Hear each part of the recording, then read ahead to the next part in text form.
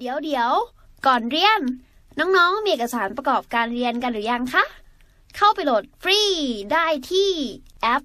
Nestle School ทั้งใน iOS และ Android เลย ต่อมานะครับก็ในส่วนของคำถามข้อที่8ถึง10 เนี่ย จะเป็นการให้อ่านบทความแล้วก็ตอบคำถามนะครับ เดี๋ยวก็จะแปลบทความให้ฟังก่อน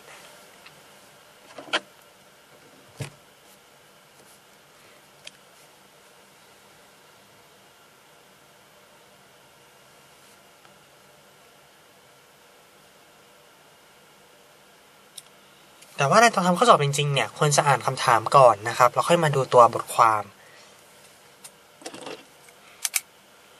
อันนี้ก็จะอ่านให้ฟังก่อนเผื่อจะได้แบบคุ้นเคยกับจะได้ดูว่าแบบตัวบทความเป็นยังไงนะครับ ก็ questions 8 to 10 refer to the following information unreported crime a survey by Lynn Featherstone on the basis of both anecdotal and documented evidence that many crimes are not reported to the police. I undertook a survey to provide a snapshot of the level of the non-reporting of crime. In doing so, I was particularly interested in why people did not report crimes to the police and what these reasons show about the level of public, uh, public confidence in the police service.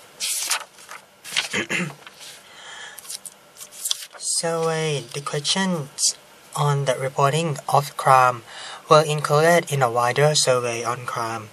and disorder that was sent out to residents in a single North London borough during the second half of last year. Respondents were asked whether they had been a victim of or witness to a crime in the last year. And if they answer yes,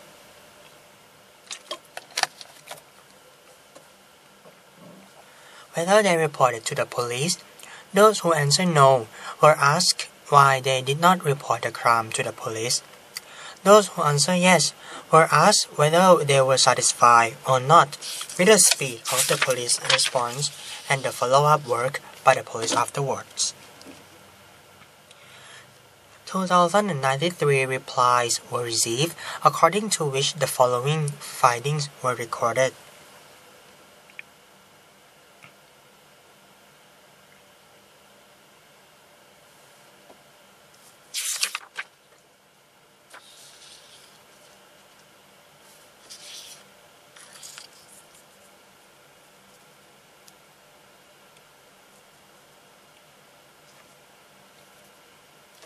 Of those who responded, 1,119 experienced or witnessed a crime in the last year, 54%. Of these, 421 did not report the crime to the police, 38%. Of those who did not report the crime, 215 did not do so because they lacked confidence in the police for one reason or another.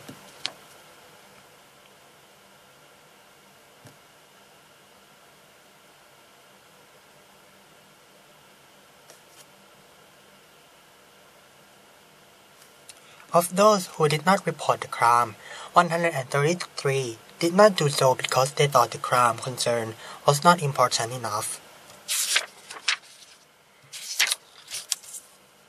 Of those who did report it, 224 were not satisfied with the speed of the police response, while 324 were not satisfied with the work of the police to follow up the report. Base your answers on the assumption that the respondents in the survey are and remain representative of the resident population of the borough, and that they respond to questions truthfully นี่คือตัวบทความทั้งหมดนะครับ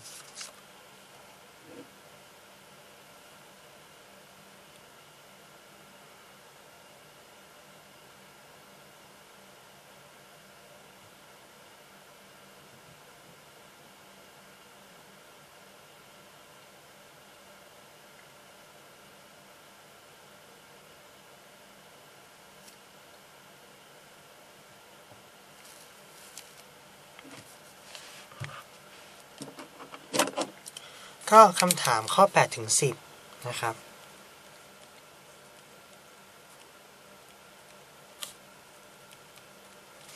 refer to the following information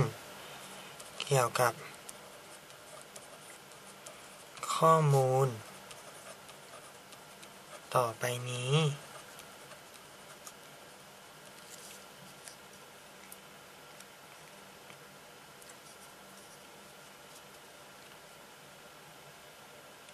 unreported crime crime เนี่ยก็คืออาชญากรรมนะครับ unreported ก็คือไม่ได้รับการรายงาน ก็คือเป็น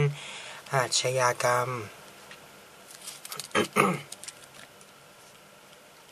ที่ไม่มีการรายงาน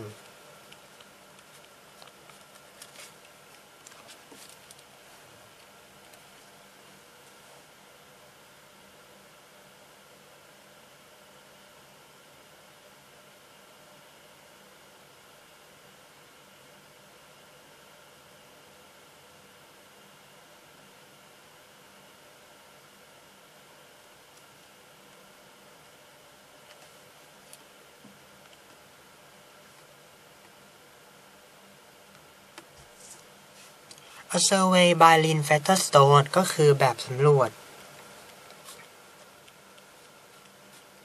โดย Lynn Featherstone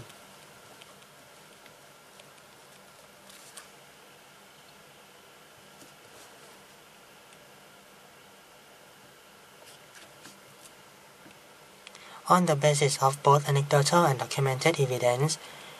ใน เรื่องของ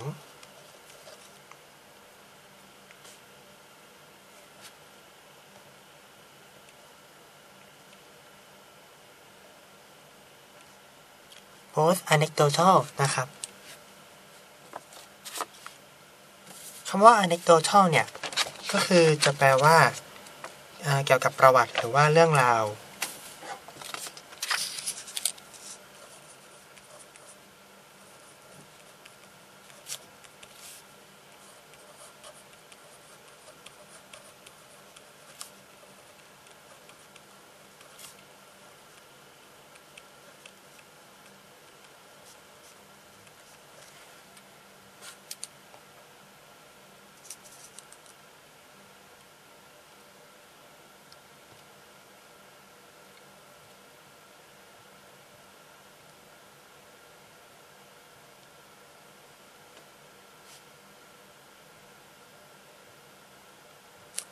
ฉะนั้น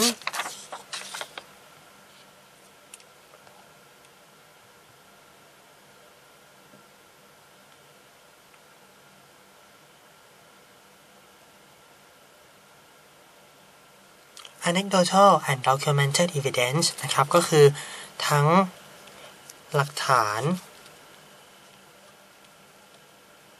หลักฐานทาง anecdotal ก็คือหลักฐานทางเรื่องราว หรือก็คือหลักฐานโดยเรื่องเล่า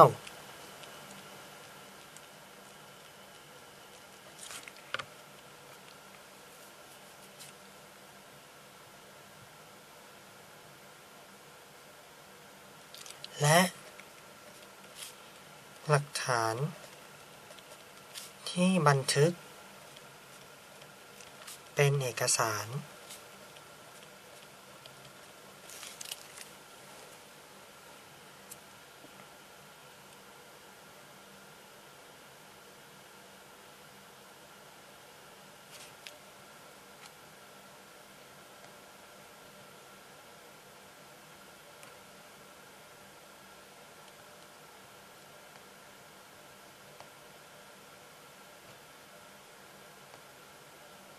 that many crimes are not reported to the police ว่า อาชญากรรม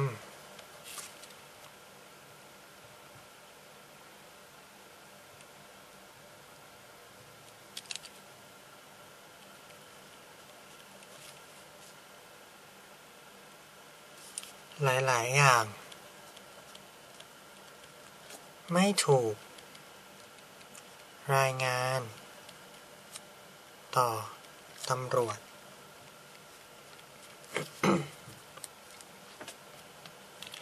I undertook a survey to provide a snapshot of the level of the non-reporting crime. "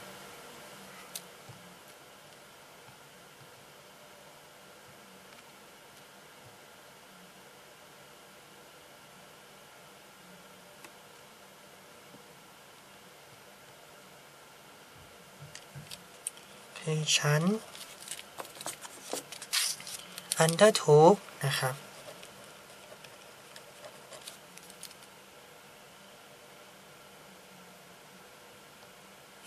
เป็นช่องสองของ undertake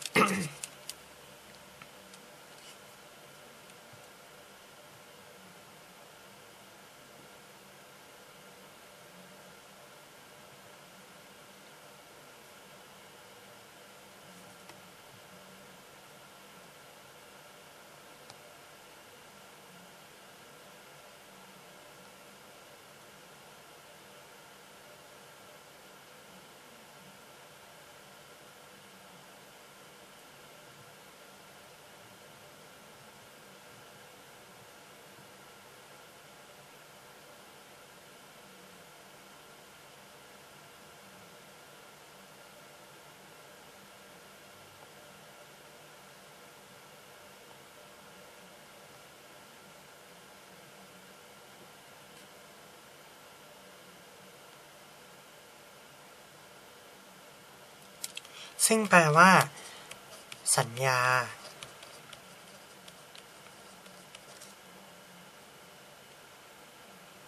หรือว่า รับภาระ หน้าที่นะครับ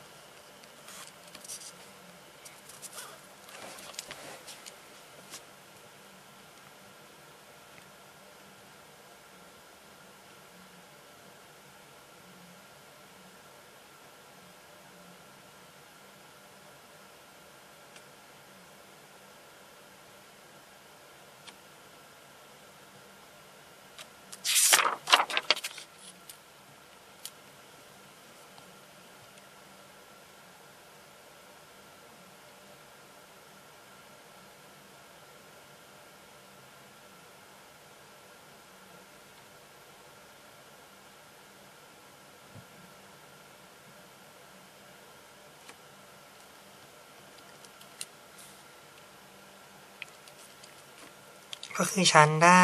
ทำแบบสำรวจ เพื่อ จะให้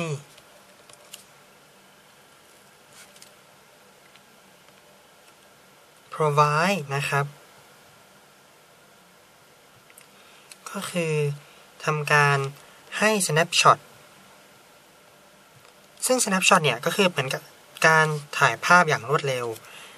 แต่ว่าอันนี้เรากำลังพูดถึง non reporting crime ฉะนั้นก็ต้องเป็นการคล้ายๆกับเก็บข้อมูลนะครับ ของระดับของอาชญากรรม ที่ไม่มีการรายงาน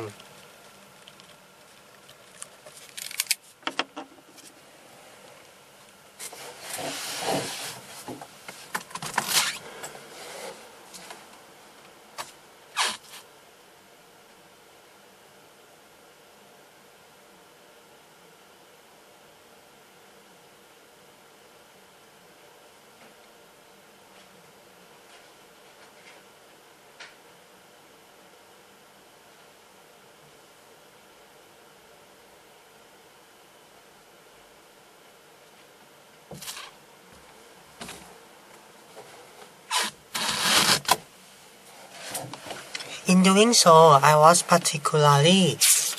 interested ในการทำแบบนี้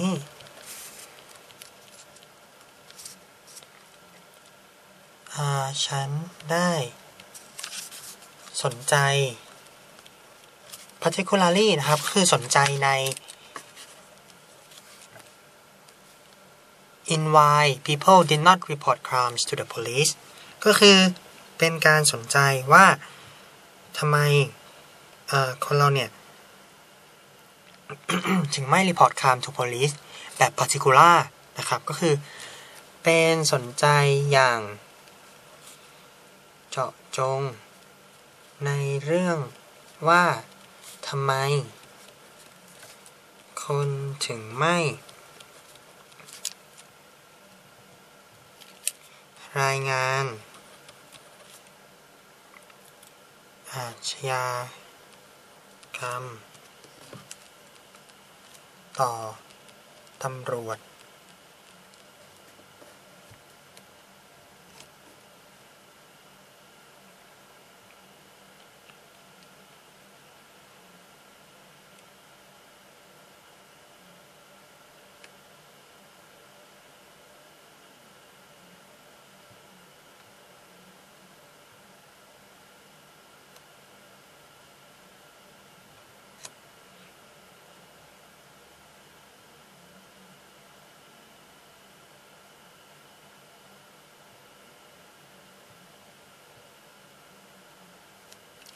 what uh, what these reasons show และ เหตุผล เหล่านี้ แสดง อะไร เกี่ยวกับ ระดับ ความมั่นใจ ของสาธารณชน ต่อ การ บริการการบริการของตำรวจนะครับ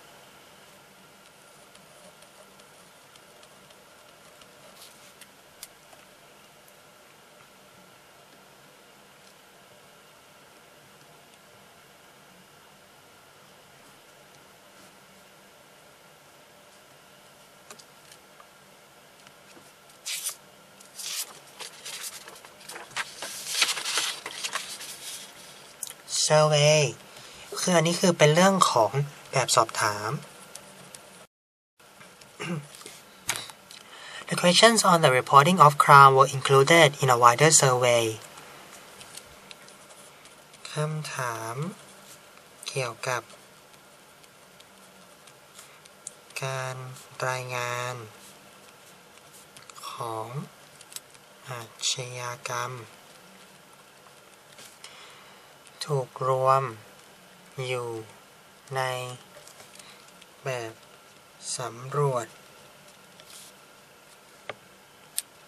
ที่ครอบคลุมกว่านะครับ wider survey ในเรื่องของคือ on crime and disorder อาชญากรรม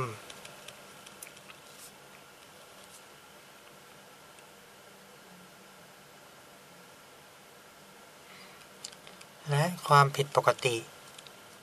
ครับ disorder that was sent out to residents in a single North London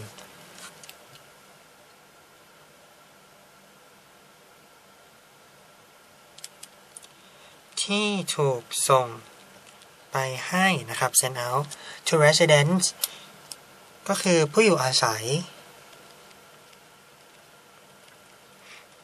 in a single North London borough คำว่าเบโลนะครับ หมายถึงเมืองเล็กๆ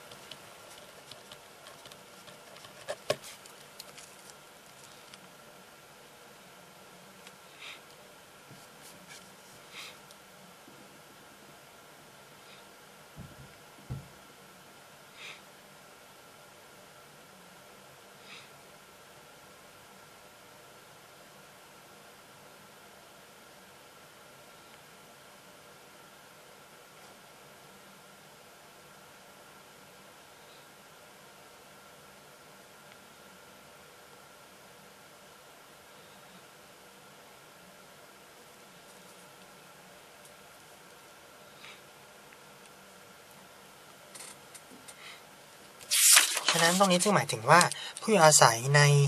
เมืองเล็กๆ ตอนเหนือ ของลอนดอน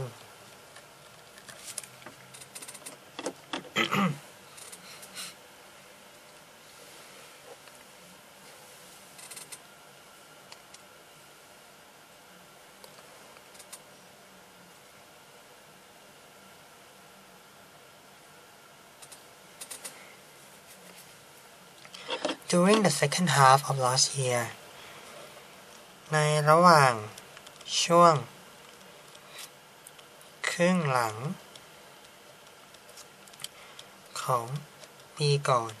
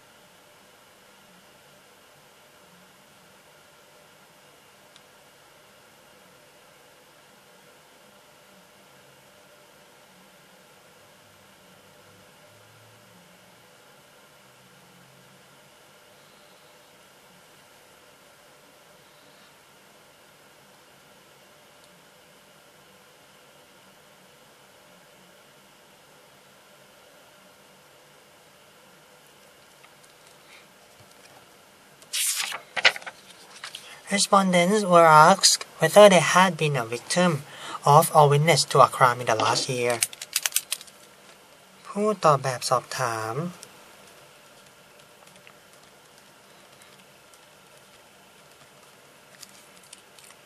ถูกถามว่า พวกเขา เคยเป็นเหยื่อ หรือ เป็นพยาน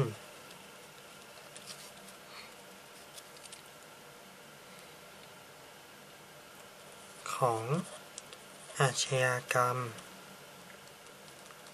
ที่เกิดขึ้น ในปีก่อน หรือไม่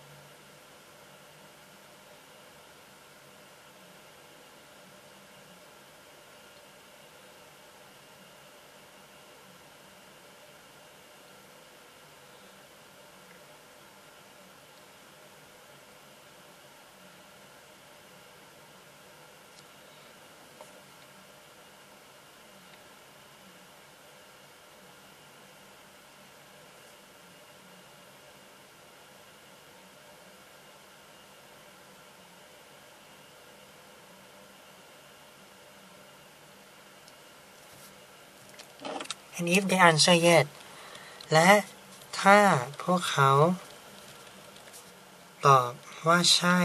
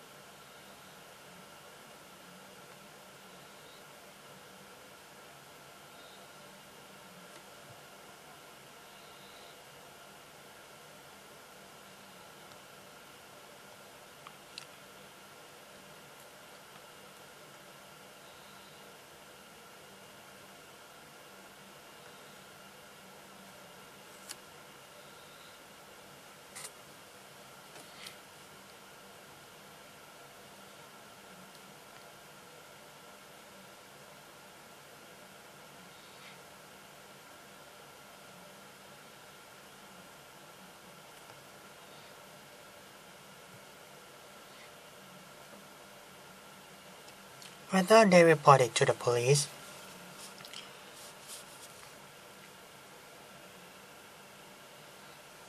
ว่าพวกเขาได้ รายงานมันให้ตำรวจหรือไม่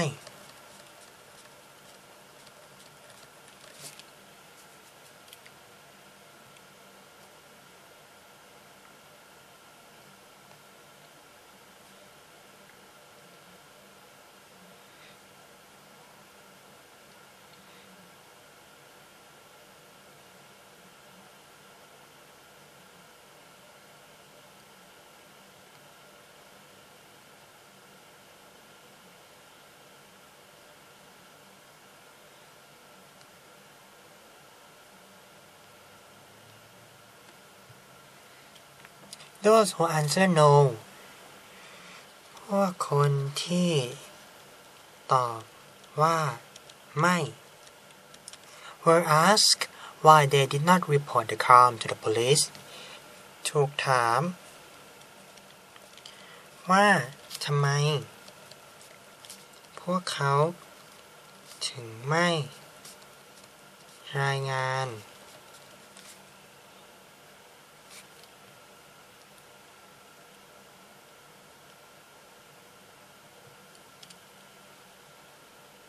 อาชญากรรม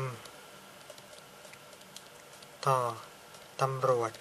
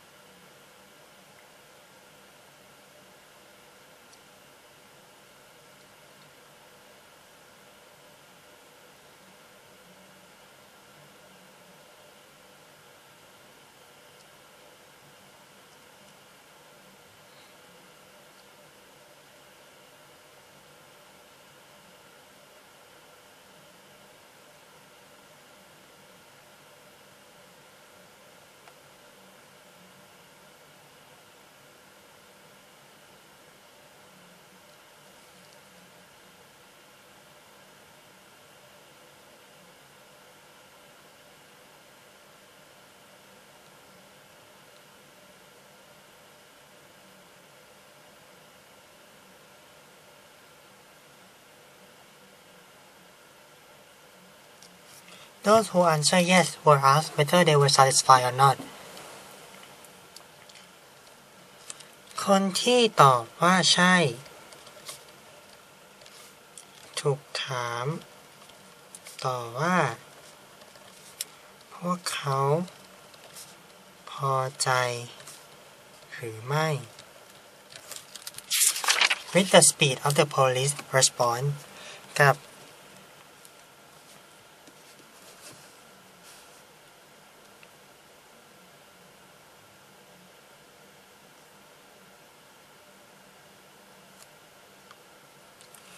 ความเร็ว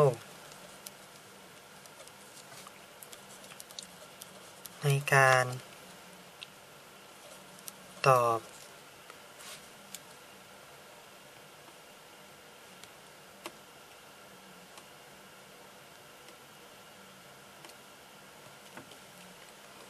สนองของตำรวจ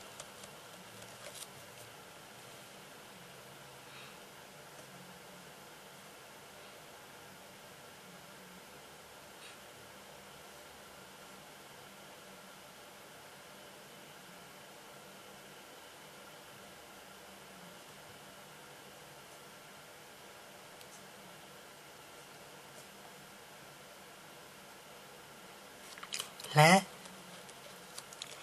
การทำงาน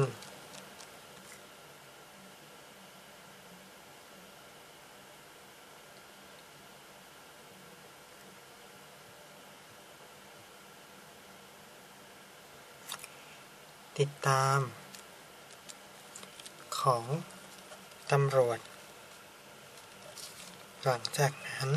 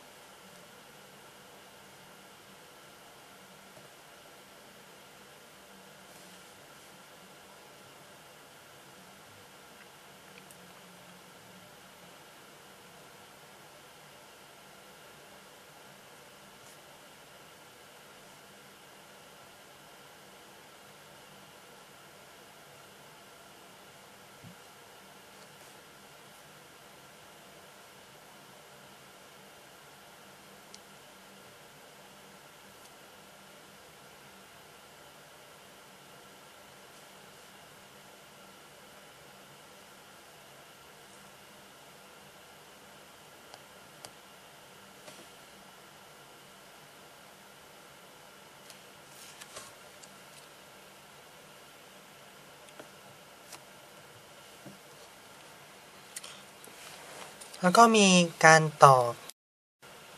อคำตอบ 2,093คำตอบ ได้รับ มา และจาก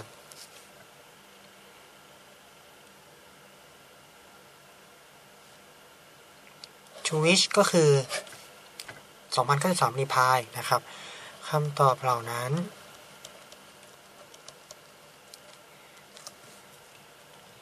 การค้นพบต่อไปนี้ หรือข้อมูลต่อไปนี้นะครับ findings ก็ถูกบันทึกไว้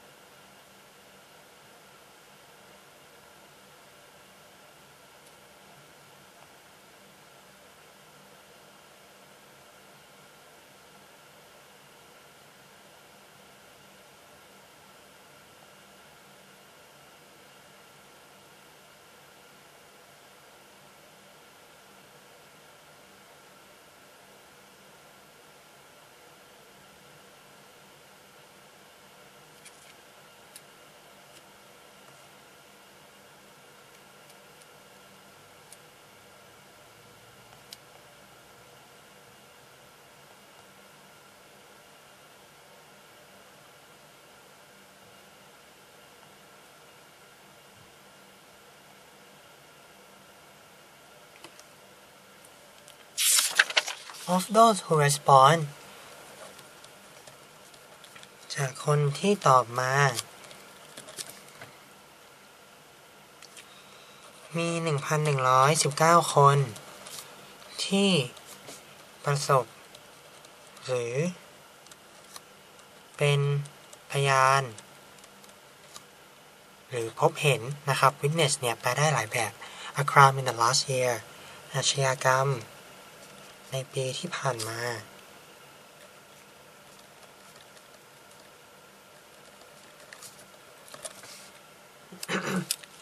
จากคนเหล่านี้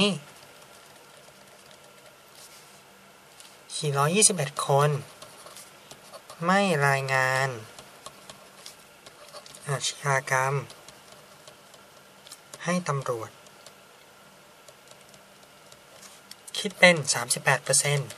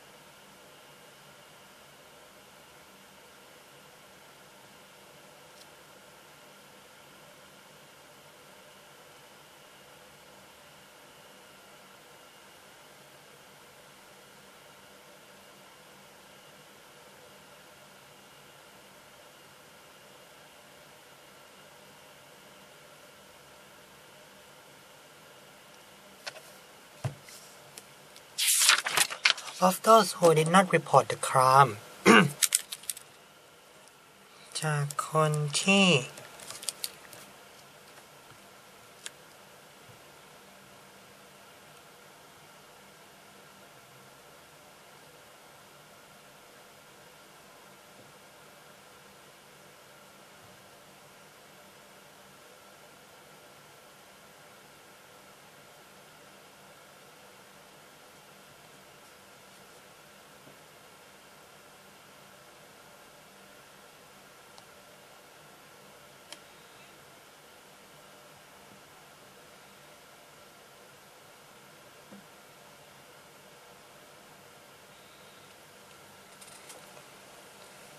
ไม่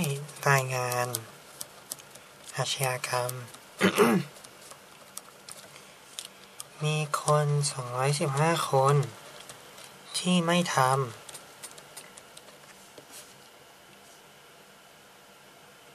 เพราะ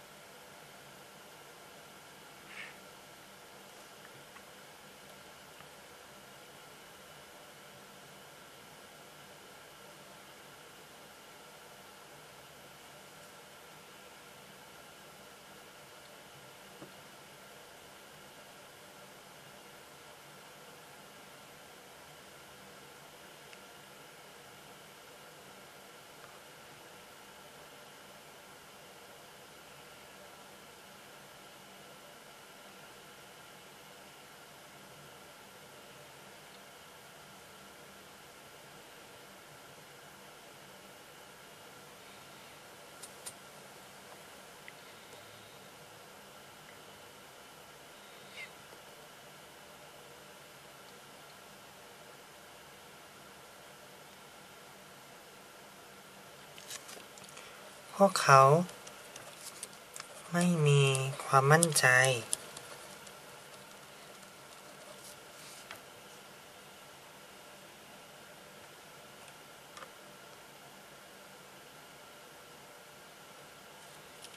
ใน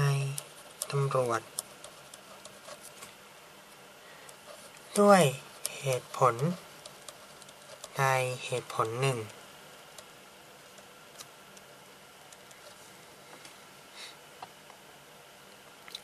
of those who did not report the crime จากคนที่ไม่รายงานอาชญากรรม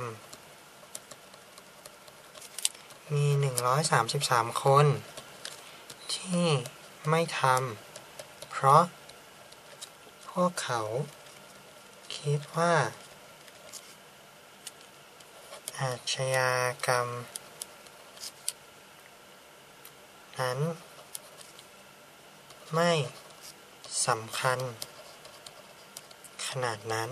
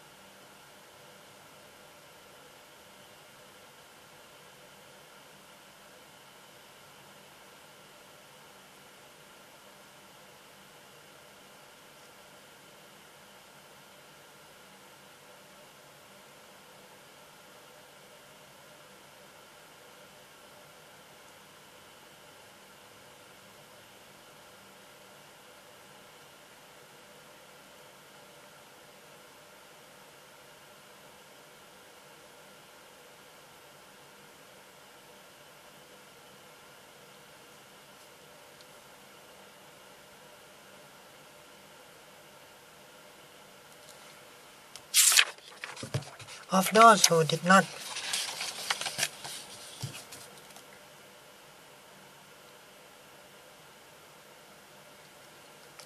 reported จากคนที่ไม่ได้ รายงาน มี 224 คน ไม่พอใจ ความเร็ว ในการตอบสนอง ของตำรวจ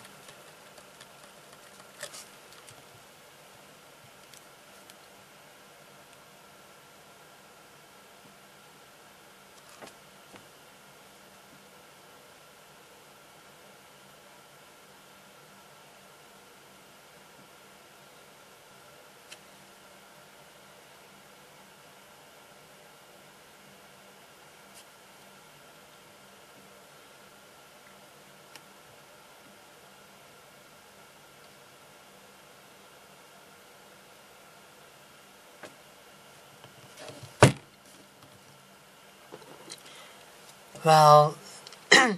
324 were not satisfied with the work of the police to follow up the report. ในขณะที่224 คน ไม่พอใจกับงานของตำรวจ ในการติดตาม การรายงาน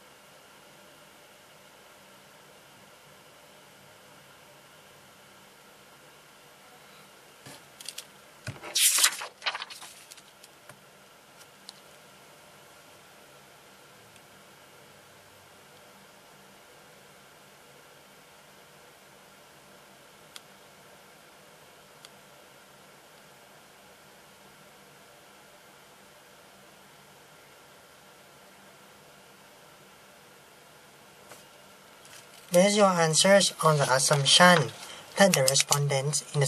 survey are and remain representative of the resident population อิงคำตอบ จากสมมติฐาน ว่า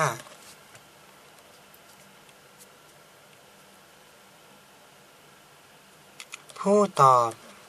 แบบสำรวจ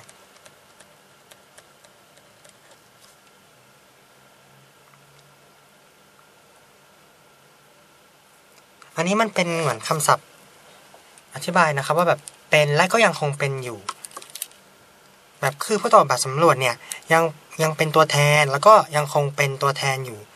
คือตอนที่ตอบเป็นตัวแทน แล้วตอนนี้ก็ยังเป็นตัวแทนอยู่นะครับ ก็คืออา เป็นตัวแทน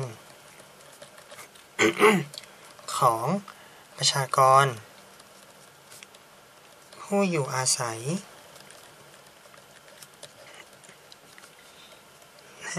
ในเมืองเล็กๆ ได้ และ พวกเขา ตอบคำถาม อย่าง ซื่อสัตย์นะครับ truthfully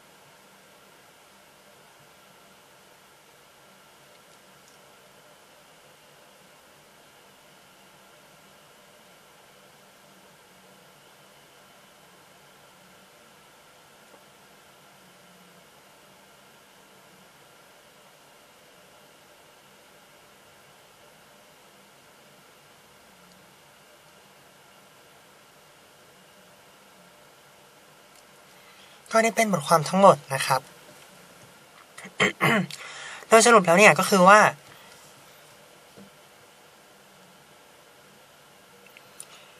มันเป็นบทความที่พูดถึงเรื่องของ unreported crime ว่า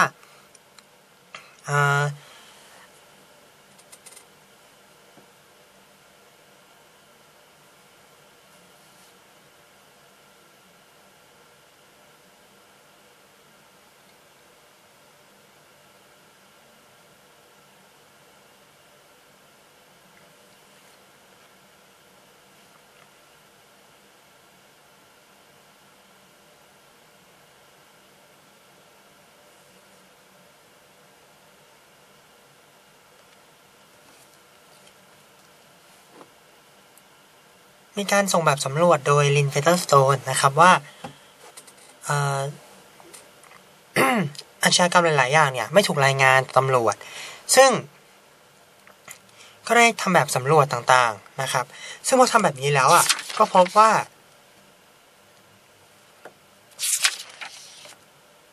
ผลผลการสำรวจนะครับ คือเป็นไปตามนี้ แต่ว่าอันนี้คือเขากำลังพูดถึงวิธีการเหมือนกับเกริ่นมาก่อนว่าอ่า คุณลินเนี่ยเขาได้ทำแบบสำรวจนะครับ โดยใช้เรื่องของการบอกเล่าทั้งทางบอกเล่าแล้วก็ทางการใช้เอกสารอะมาเป็นหลักฐาน ว่าอาชญากรรมหลาย ๆ อย่างอะไม่ถูกรายงานต่อตำรวจ ซึ่งฉันเนี่ยก็ได้ทำแบบสำรวจแบบนี้เหมือนกันเพื่อที่จะแบบ ให้ข้อมูลนั้นนะครับ ซึ่งในการทำข้อในการทำแบบนี้ก็คือการที่คุณคนนี้เขาทำ snapshot of the level of อะไรเนี่ยทำให้เขาอะสนใจว่าทำไมคนถึงไม่รายงานอาชญากรรมต่อตำรวจล่ะ แล้วก็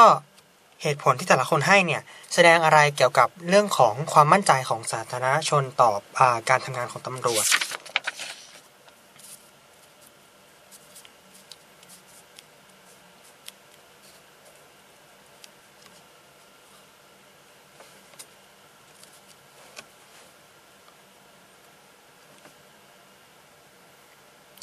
โดยคำถามนะครับ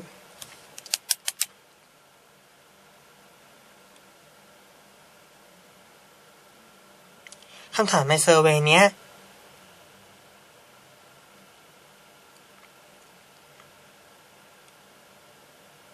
ถูกรวมอยู่ในแบบสำรวจ ที่ถูกส่งไปให้ประชาชน ในเมืองเล็กๆ ในช่วงครึ่งหลังของปี ซึ่งผู้ตอบสำรวจ ผู้ตอบแบบสอบถามเนี่ยจะถูกถามว่าเขาเคยเป็นเหยื่อของอาการเกิดอาชญากรรมหรือเปล่า แล้วถ้าตอบว่าใช่ ก็จะถามต่อว่ารายงานไปให้ตำรวจหรือเปล่า ส่วนคนที่ตอบว่าไม่ คนที่ตอบว่าไม่ทำไมถึงไม่รายงาน ก็จะถูกถามต่อว่าทำไมถึงไม่รายงานล่ะ ส่วนคนที่ตอบว่าใช่ ก็จะถูกถามต่อว่าพอใจหรือเปล่ากับการทำงานของตำรวจ แล้วก็แบบความเร็วในการตอบสนองต่อการรายงานอะไรพวกนั้นนะครับ ซึ่งจากการสำรวจก็ได้ผลลัพธ์มาว่ามีคำตอบมา 2,093คำตอบ ซึ่งได้สรุปผลออกมาเป็นดังนี้ก็คือว่า มีคน 1,119 คนที่ประสบกับเหตุการณ์ หรือว่าเป็นผู้เห็นเหตุการณ์อาชญากรรม ในปีที่แล้ว ซึ่งคิดเป็น 54%ของคนตอบทั้งหมด ซึ่งจากคนเหล่านี้มีคน 421 คนที่ไม่รายงานอาชญากรรมให้ตำรวจ หรือคิดเป็น 38%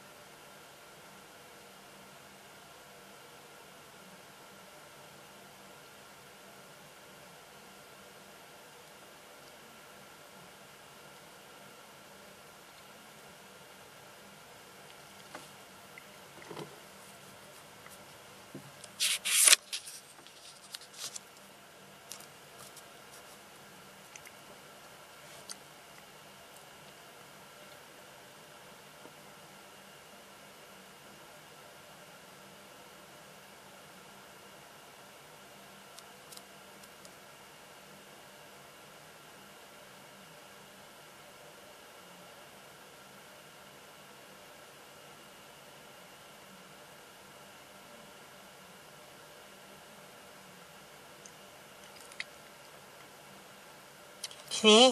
จากจากหนึ่งเก้าคนเนี่ยครับ ก็มี421คนไม่รายงาน ซึ่งพอมาดูคนที่ไม่รายงาน ก็พบว่า215คนเนี่ย ไม่รายงานเพราะว่าไม่มั่นใจต่อตำรวจส่วน133คน รู้สึกว่าตัวอาชญากรรมที่เห็นเนี่ย มันไม่ได้แบบรุนแรงหรือว่าสำคัญขนาดนั้น ส่วนคนที่ไม่รายงานอีก 224 คนอะ คนที่รายงานนะครับ who did report มี 224 คนเนี่ย ไม่พอใจกับความเร็วในการทำงานของตำรวจ ส่วน 324 คน ไม่พอใจกับการติดตามงาน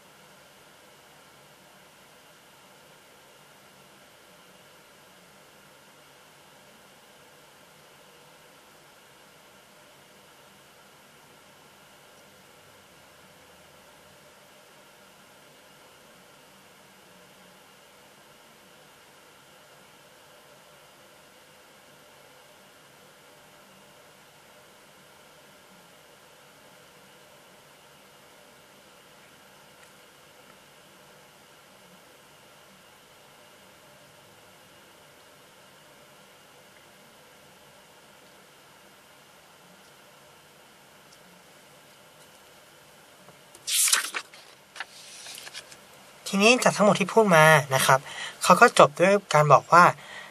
ให้คิดไปเลยว่า ผู้ตอบแบบสำรวจเนี่ยเป็นตัวแทนของประชากรได้ แล้วก็เขาได้ตอบคำถามที่ถามเนี่ยอย่างซื่อสัตย์นะครับ นี่ก็คือเป็นบทความทั้งหมด ทีนี้ข้อ 8 นะครับแปดถามว่า if a typical resident experienced or witnessed a crime but did not report it, the probability that he or she thought it was insufficiently important would be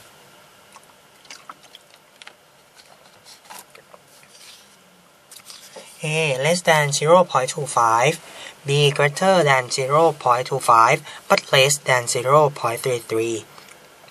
C greater than 0.33 but less than 0.5, D 0.5 or higher.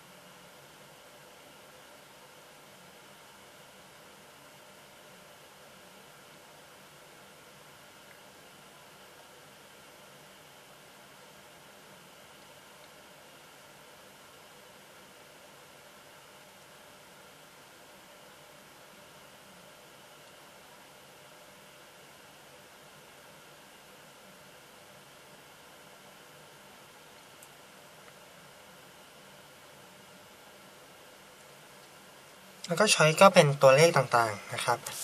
ก็ตรงนี้ก็ไม่มีอะไรมากก็คือบอกว่าถ้า ประชากรผู้อยู่อาศัยนะครับ resident ผู้อยู่อาศัย ทั่วไป ประสบ หรือ พบเห็น อาชญากรรม แต่ไม่รายงานมัน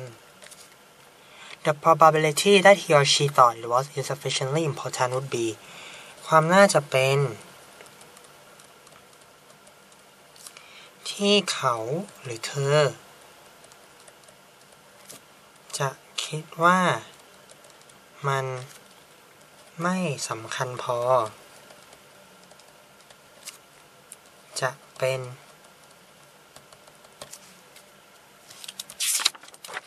A less than 0.25 ก็คือน้อยกว่า 0.25 B greater than 0.25 but less than 0.33 มากกว่า0.25 0.25 แต่น้อยกว่า 0.33 C ก็มากกว่า 0.33 แต่น้อยกว่า 0.5 ส่วน D ก็คือ 0.5 หรือมากกว่า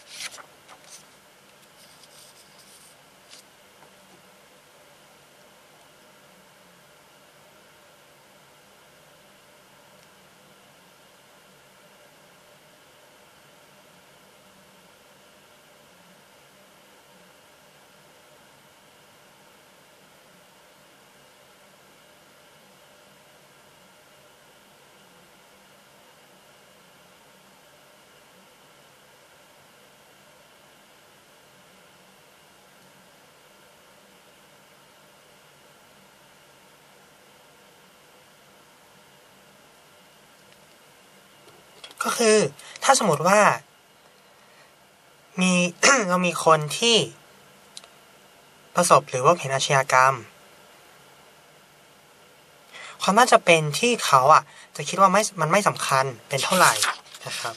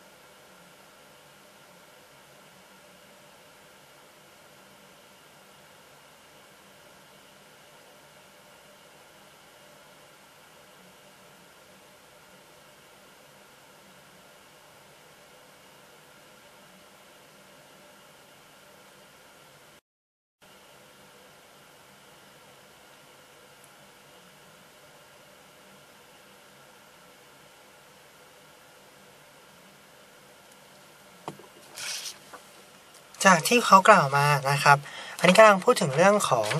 อประชาชน เพราะถ้าสมมติว่าเราเจอคนคนหนึ่ง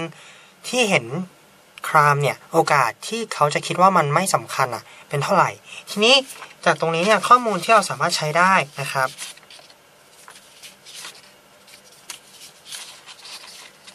ก็คือข้อมูลในส่วนท้ายๆของบทความในเรื่องของอา findings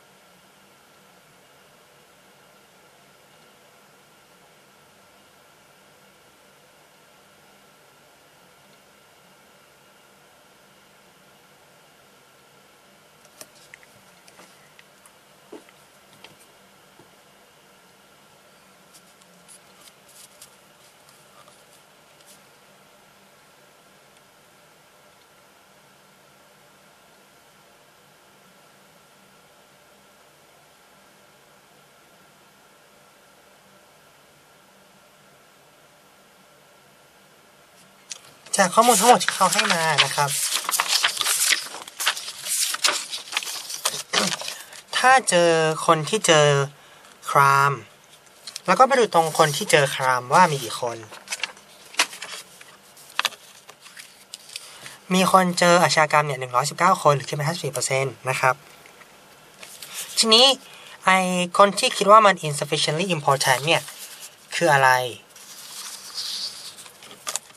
เราเริ่มจากตรงนี้ก่อน สมมุติเรามีก้อนคนที่อันนี้คือก้อนคนที่เจอคาเจอคาม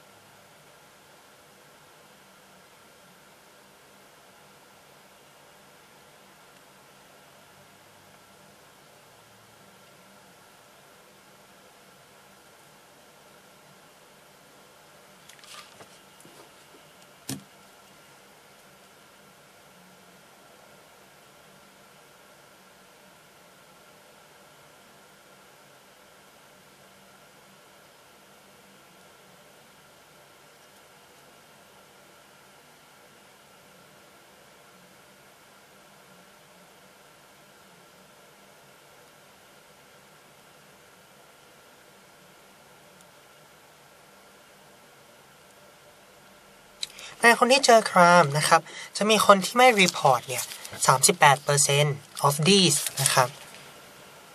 ชึบ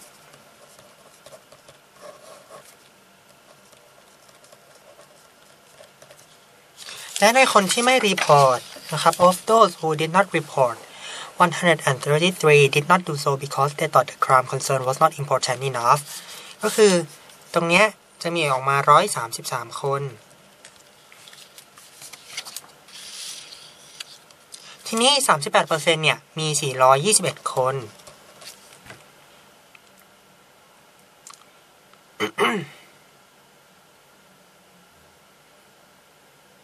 ส่วนคนที่เจอครามเนี่ย มี 100เอ่อไม่ใช่ 1,119 คน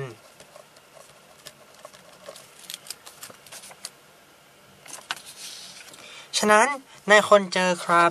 1,119 คน จะมีคนไม่รีพอร์ต เพราะเห็นว่ามันไม่สำคัญอะร้อยสามสิบสามคน ก็คือคิดเป็นหนึ่งร้อยสามสิบสามส่วนหนึ่งพันหนึ่งร้อยสิบเก้า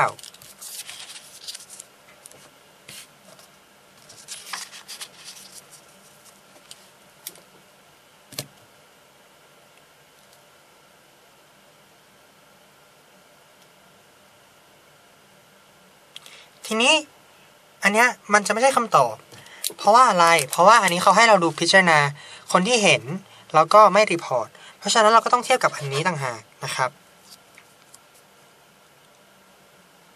ก็คืออยากรู้ว่าในคนที่ไม่ ถ้าสมมติเราเจอคนที่ไม่ report crime ความน่าจะเป็นที่เหตุผลของเขาอะจะเป็นเพราะว่ามันไม่สำคัญพออะเท่าไหร่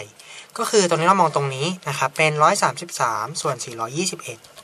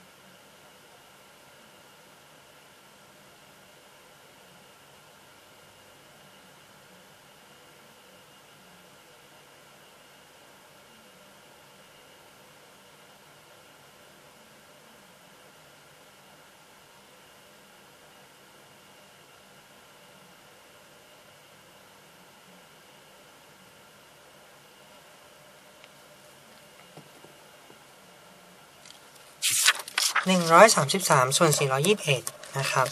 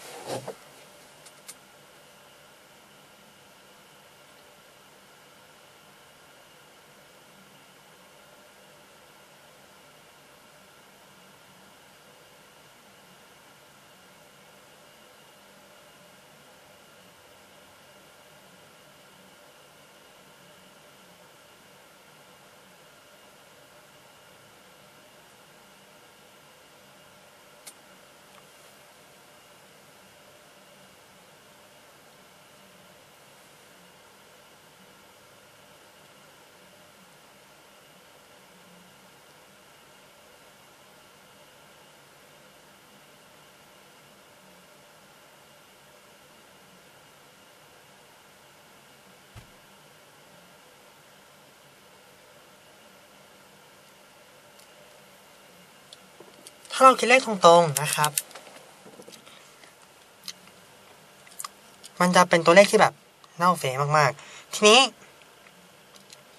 หนึ่งในวิธีการทำอะไรแบบนี้เนี่ยก็คือว่า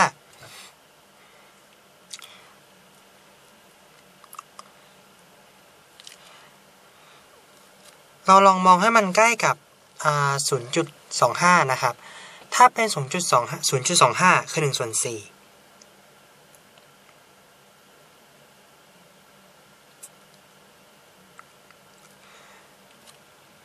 เพราะว่าในช้อยอะมันใช้ 0.25 เป็นเกณฑ์หลักใช่ไหมครับ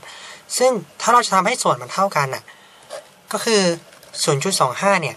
มันจะมีค่าประมาณ 105.25 ส่วน 421 ทีนี้ 133 ส่วน 421อะ มันมีค่ามากกว่าใช่ไหมครับ ส่วนอันเนี้ย 0.33 คือ 1 ส่วน 3 ซึ่ง1ส่วน3เนี่ย ก็คือเป็น 140 กว่ากว่าจะเห็นว่า 133 ส่วน 421 เนี่ย มีค่ามากกว่า 105.25 ส่วน 421 แต่ก็มีค่าน้อยกว่า 140 ส่วน 421 เพราะฉะนั้นข้อนี้ก็เลยตอบข้อ B นะครับ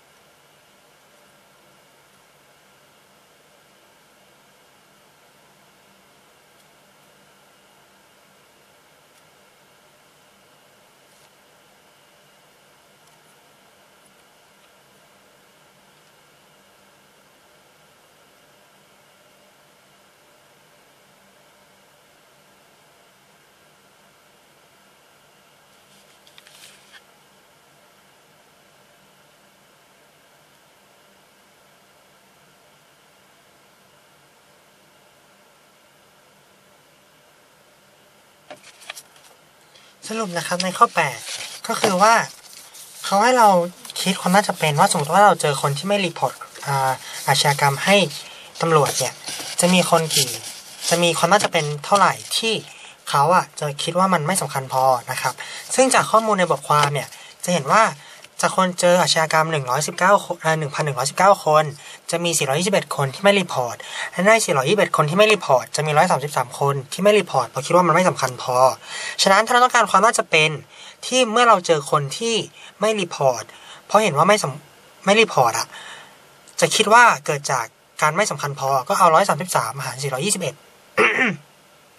8 ก็เลยตอบข้อ B นะครับ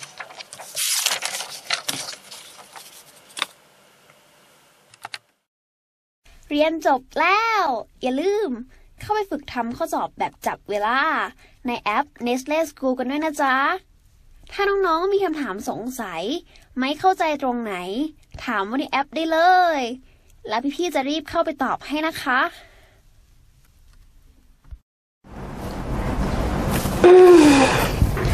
ง่วงก็พักก่อนได้นะคะ พร้อมเมื่อไหร่ก็ดูความรู้ได้ตอนนั้นทุกที่ทุกเวลา